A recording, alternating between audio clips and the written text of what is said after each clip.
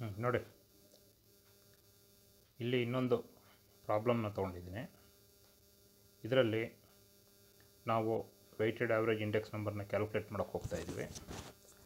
ಈ ಪ್ರಾಬ್ಲಮ್ ಏನಪ್ಪ ಇದೆ ಅಂದರೆ from the following data you are required to calculate Lin Laspeyres index number ಪಿನ್ Paasche's index number fin Fisher ideal index number and also show that fisher ideal index number satisfies both trt that is time reversal test, and frt factor reversal test. ಏನಾಗುತ್ತಪ್ಪ ಅಂದರೆ ನಮಗೆ ಸುಮಾರು index ನಂಬರ್ಗಳು calculation ಮಾಡ್ತೀವಿ. ಅದು Laspeyres method ಆಗಿರ್ಬೋದು past chase method ಆಗಿರ್ಬೋದು ಡಾಲ್ಬಿನ್ಸ್ ಮೆಥಡ್ ಆಗಿರ್ಬೋದು ಬೌಲೇಸ್ ಮೆಥಡ್ ಆಗಿರ್ಬೋದು ಯಾವುದಾದ್ರು ಮೆಥಡ್ ತೊಗೊಳ್ಳೋಣ ಅವರು ಯಾವುದೇ ಮೆಥಡನ್ನು ಕೂಡ ನಾವು ಐಡಿಯಲ್ ಇಂಡೆಕ್ಸ್ ನಂಬರ್ ಅಂತ ಕರ್ಕೊಡಲ್ಲ ಫಿಶರ್ ಕೊಟ್ಟಿರುವಂಥ ಒಂದು ಇಂಡೆಕ್ಸ್ ನಂಬರ್ನ ನಾವು ಐಡಿಯಲ್ ಇಂಡೆಕ್ಸ್ ನಂಬರ್ ಅಂತ ಕರಿತೀವಿ. ಕಾರಣ ಅಷ್ಟೇ ಫಿಶರ್ ಕೊಟ್ಟಿರುವಂಥ ಅವನ ಮೆಥಡ್ ಏನಿದೆ, ಆ ಮೆಥಡ್ನಲ್ಲಿ ಎರಡು ಟೆಸ್ಟ್ಗಳು ಸ್ಯಾಟಿಸ್ಫೈ ಮಾಡುತ್ತೆ. ಒಂದು ಟೈಮ್ ರಿವರ್ಸಲ್ ಟೆಸ್ಟ್ ಅಂತ ಹೇಳ್ಕೊಂಬರ್ತೀವಿ, ಮತ್ತೊಂದು ಫ್ಯಾಕ್ಟರ್ ರಿವರ್ಸಲ್ ಟೆಸ್ಟ್ ಅಂತ ಹೇಳ್ಕೊಂಬರ್ತೀವಿ. ಆ ಎರಡೂ ಟೆಸ್ಟು ಕೂಡ ಬೇರೆ ಯಾವುದೇ ಇಂಡೆಕ್ಸ್ ನಂಬರ್ ಕಂಡೀಷನ್ ಫುಲ್ಫಿಲ್ ಮಾಡೋದಿಲ್ಲ. ಫಿಶರ್ ಐಡಿಯಲ್ ಇಂಡೆಕ್ಸ್ ನಂಬರ್ ಮಾತ್ರ ಅದು ಫುಲ್ಫಿಲ್ ಮಾಡುತ್ತೆ. ಹಾಗಾಗಿ ಅದನ್ನು ಐಡಿಯಲ್ ಇಂಡೆಕ್ಸ್ ನಂಬರ್ ಅಂತ ಕರ್ಕೋತೀವಿ. ಅದನ್ನು ಯಾವ ರೀತಿ ನಾವು ಪ್ರೂವ್ ಮಾಡೋದು ಅದನ್ನು ಕೂಡ ಈ ಪ್ರಾಬ್ಲಮಲ್ಲಿ ಹೇಳ್ಕೊಡ್ತೇನೆ. ನೋಡಿ, ಈ ಒಂದು ಪ್ರಾಬ್ಲಮ್ನಲ್ಲಿ ನೀವು ಗಮನಿಸಬೇಕಾಗಿರುವಂಥ ವಿಚಾರ ಪ್ರಾಬ್ಲಮಲ್ಲಿ ಏನಿದೆ ಅಂದರೆ ಕಮಾಡಿಟೀಸ್ ಕೊಟ್ಟಿದ್ದೀನಿ ಎ ಇಂದ ಇ ಬೇಸ್ ಪೀರಿಯಡ್ದು ಇನ್ಫಾರ್ಮೇಷನ್ ಇದೆ ಕರೆಂಟ್ ಇಯರ್ದು ಇನ್ಫಾರ್ಮೇಷನ್ ಇದೆ. ಒಂದು ಮುಖ್ಯವಾಗಿ ಗಮನಿಸಬೇಕಾಗಿರೋಂಥ ವಿಚಾರ ಲಾಸ್ಟ್ ಪ್ರಾಬ್ಲಮ್ನಲ್ಲಿ ಅಥವಾ ಲಾಸ್ಟ್ ಒಂದು ಎರಡು ಮೂರು ಪ್ರಾಬ್ಲಮ್ಸ್ನಲ್ಲಿ ಬೇಸ್ ಪೀರಿಯಡ್ದಾಗಿರಲಿ, ಕರೆಂಟ್ ಪೀರಿಯಡ್ದಾಗಿರಲಿ ಪ್ರೈಸನ್ನ ಕೊಡ್ತಾ ಇದ್ದ ಪ್ರತಿಯೊಂದು ಕಮಾಡಿಟಿದು ಆದರೆ ಇಲ್ಲೇನಪ್ಪ ಮಾಡಿಬಿಟ್ಟಿದ್ದಾನಂದರೆ ಕಮಾಡಿಟೀಸ್ದನ್ನ ಪ್ರೈಸನ್ನ ಕೊಟ್ಟಿಲ್ಲ. ಅದ್ರ ಬದಲಾಗಿ ಟೋಟಲ್ ವ್ಯಾಲ್ಯೂ ಎಷ್ಟು ಅವರು ಖರ್ಚು ಮಾಡಿದ್ದಾರೆ.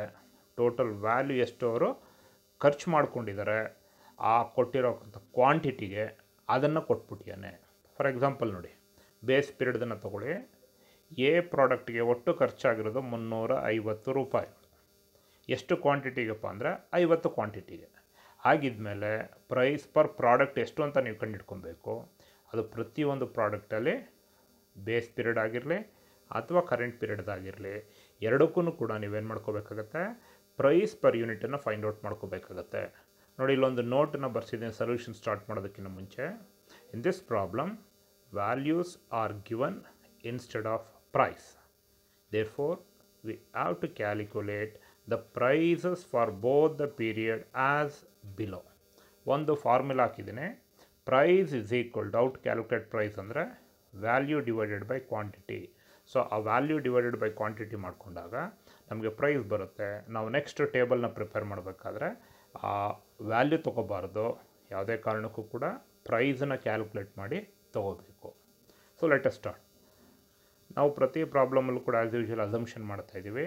Base period ಪ್ರೈಸನ್ನು P zero current year period period ಪ್ರೈಸನ್ನು P one quantity base ಪೀರಿಯಡ್ದನ್ನು Q zero quantity base current ಪೀರಿಯಡ್ದನ್ನು Q one ಅಂತ ಕರ್ಕೋತಾ ಇದ್ದೀವಿ.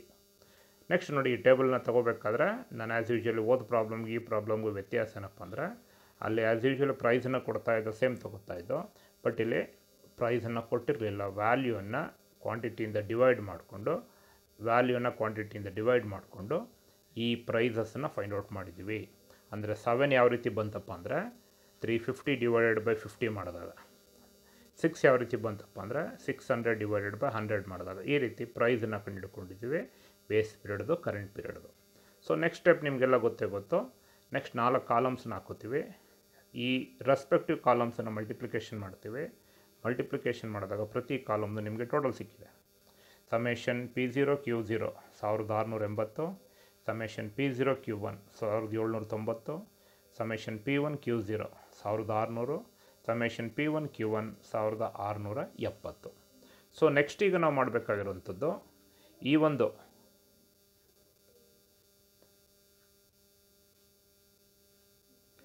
ಈ ಒಂದು ಕ್ಯಾಲ್ಕುಲೇಷನ್ ಮಾಡಿದ ನಂತರ ಫಾರ್ಮುಲಾಸನ್ನು ಅಪ್ಲೈ ಮಾಡ್ಕೊಂಬರ್ತೀವಿ ಈಗ ಫಾರ್ಮುಲಾಸನ್ನು ಅಪ್ಲೈ ಮಾಡಬೇಕಾದ್ರೆ ನಿಮಗೆ ಲಾಸ್ಟ್ ಪ್ರಾಬ್ಲಮಲ್ಲಿ ಕೂಡ ಹೇಳ್ಕೊಟ್ಟಿದ್ದೀನಿ ಮತ್ತೆ ಇನ್ನೊಂದು ಸರಿ ಹೇಳ್ಕೊಡ್ತಾ ಇದ್ದೀನಿ.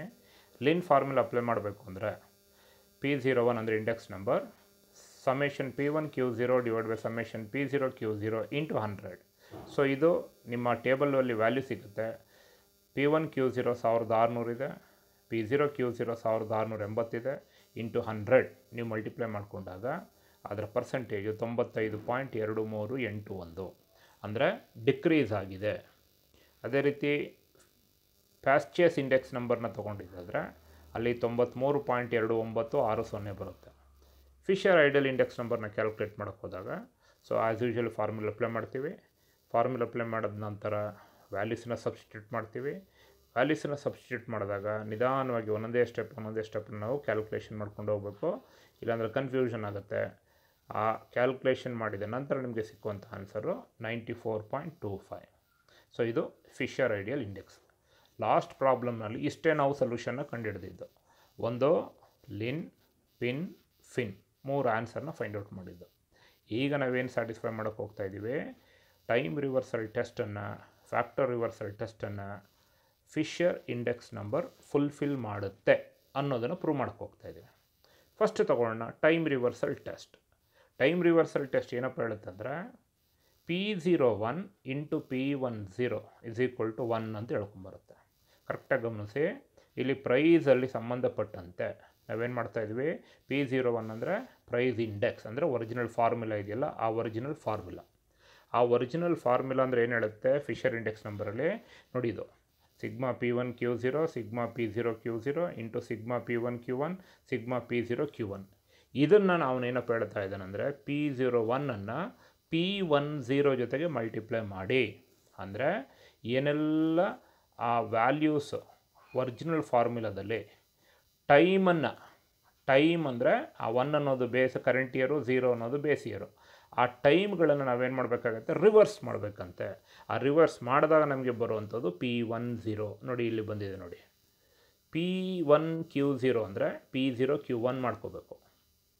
ಪಿ ಝೀರೋ ಕ್ಯೂ ಝೀರೋ ಅಂತ ಹೇಳಿದ್ರೆ P one Q one P one Q zero ಅಂತ ಹೇಳಿದ್ರೆ P zero Q zero P zero Q one ಅಂದರೆ P one Q zero so ಇದು ನಿಮಗೆ ಟೈಮನ್ನು ರಿವರ್ಸ್ ಮಾಡಿದಾಗ ಸಿಕ್ಕುವಂಥದ್ದು. ಸೊ ಈಗ ಟೈಮ್ನ ರಿವರ್ಸ್ ಮಾಡಿದ ನಂತರ ನಮ್ಮ ಕಂಡೀಷನ್ ಏನು ಹೇಳುತ್ತೆ? ಇದೆರಡು ಫಾರ್ಮುಲವನ್ನು ಯಾವ್ಯಾವುದೋ? ಸಿಗ್ಮಾ ಪಿ ಒನ್ ಸರಿ sorry sigma P zero P zero P zero one into P one ಝೀರೋನ ಮಾಡಿದಾಗ ನಿಮಗೆ ರಿಸಲ್ಟಿಂಗ್ ಆನ್ಸರ್ ಒನ್ ಬರಬೇಕಂತೆ. ಸೊ ಈ ಫಾರ್ಮುಲಾ ಈ ಫಾರ್ಮುಲಾ ಎರಡೂ ಕೂಡ ಒಂದೇ ಸ್ಕ್ವೇರ್ ರೂಟ್ನಲ್ಲಿ ನೀವು ತಗೊಂಡು ಬರ್ಕೊಂಡಾಗ ನೋಡಿ ಈ ರೀತಿ ಬರುತ್ತೆ. ನೆಕ್ಸ್ಟ್ ನೀವು ಮಾಡಬೇಕಾಗಿರೋ ಕೆಲಸ ವ್ಯಾಲ್ಯೂಸನ್ನ ಆ್ಯಸ್ ಯೂಶ್ವಲಿ ಸಬ್ಸ್ಟಿಟ್ಯೂಟ್ ಮಾಡ್ತೀರಾ. ವ್ಯಾಲ್ಯೂಸನ್ನ ಸಬ್ಸ್ಟಿಟ್ಯೂಟ್ ಮಾಡಿದಾಗ ನೋಡಿ ಇಲ್ಲಿ thousand six hundred denominator thousand six hundred one time one time cancel ಆಗುತ್ತೆ. Thousand six seventy thousand six seventy one time one time cancel ಆಗುತ್ತೆ. Thousand seven ninety thousand seven ninety one Jha one ಝಾ cancel ಆಗುತ್ತೆ. Thousand six eighty thousand six eighty ಅದು ಕೂಡ one time cancel ಆಗುತ್ತೆ. So ಇನ್ನು remaining ಎಷ್ಟು ಉಳ್ಕೊಂಡಿದೆಯಪ್ಪ ಅಂದರೆ one divided by one into one divided by one into one divided by one into one divided by one so ನಿಮಗೆಲ್ಲ ಗೊತ್ತೇ ಗೊತ್ತು ಒನ್ ಡಿವೈಡೆಡ್ ಬೈ ಒನ್ ಅಂತ ಹೇಳಿದ್ರೆ ಒನ್ ಒನ್ ಒನ್ ಒನ್ ಬರುತ್ತೆ. ಮಲ್ಟಿಪ್ಲೈಡ್ ವಿತ್ ಒನ್ ಅಂತ ಪ್ರತಿಯೊಂದು ಮಾಡಿದಾಗ ಅದು ಒನ್ನೇ ಬರುತ್ತೆ. ಸ್ಕ್ವೇರ್ ರೂಟ್ ಆಫ್ ಒನ್ನು ಕೂಡ ಒನ್ನೇ ಆಗುತ್ತೆ.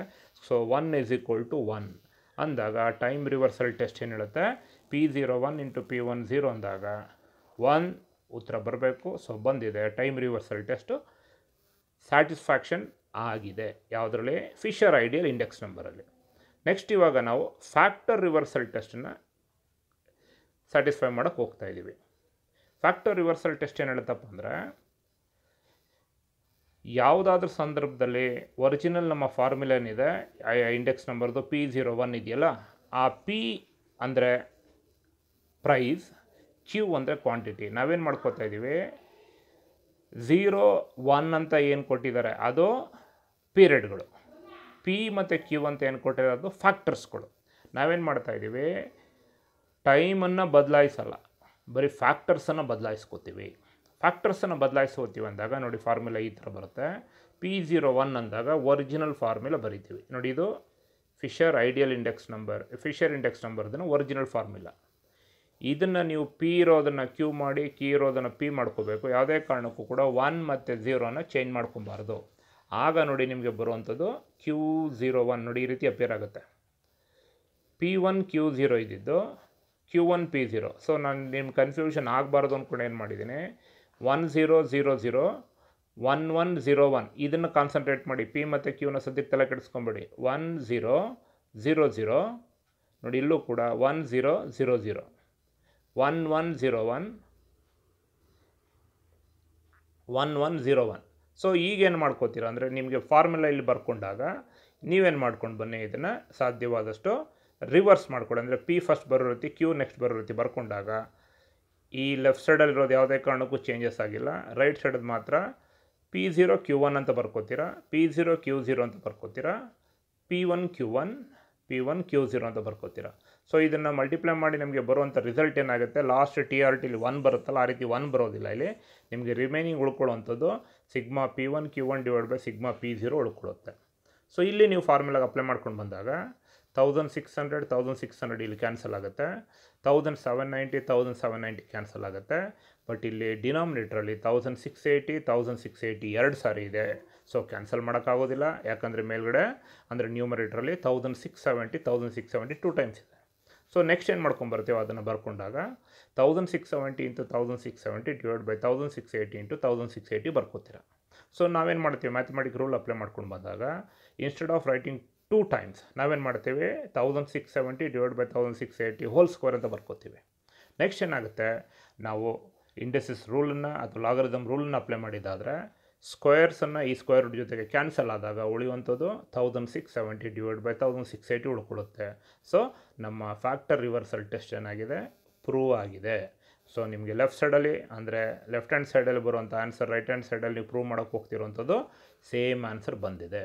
ಸೊ ಹಾಗಾಗಿ ಈ ಫಿಶರ್ ಐಡಿಯಲ್ ಇಂಡೆಕ್ಸ್ ನಂಬರು ನಾವು ಟೈಮ್ ರಿವರ್ಸಲ್ ಟೆಸ್ಟನ್ನು ಮತ್ತು ಫ್ಯಾಕ್ಟರ್ ರಿವರ್ಸಲ್ ಟೆಸ್ಟನ್ನು ಎರಡನ್ನೂ ಕಂಡೀಷನ್ ಸ್ಯಾಟಿಸ್ಫೈ ಮಾಡ್ತಾ ಇದೆ. ಇದಕ್ಕೋಸ್ಕರ ಇದನ್ನು ನಾವು ಐಡಿಯಲ್ ಇಂಡೆಕ್ಸ್ ನಂಬರ್ ಅಂತ ಕರ್ಕೋತೀವಿ.